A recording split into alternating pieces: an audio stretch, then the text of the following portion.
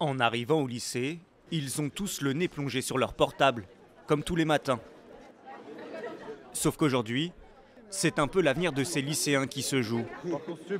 Parcoursup a enfin livré ses résultats, mais certains d'entre eux étaient encore dans le flou.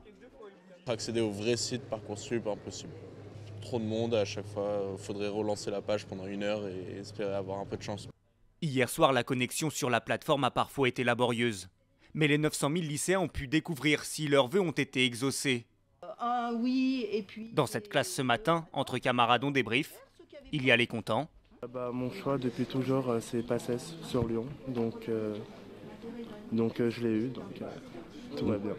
et ceux qui ont passé une mauvaise nuit. J'ai reçu deux noms sur la DUT. Bah, ils sont refusés. Pour d'autres, le stress continue. Placés sur liste d'attente, leur sort n'est plus entre leurs mains.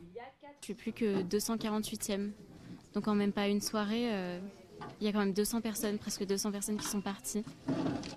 Les élèves ont désormais jusqu'à dimanche pour accepter ou refuser leur choix et ainsi libérer des places. Après ça, il faudra encore décrocher le baccalauréat.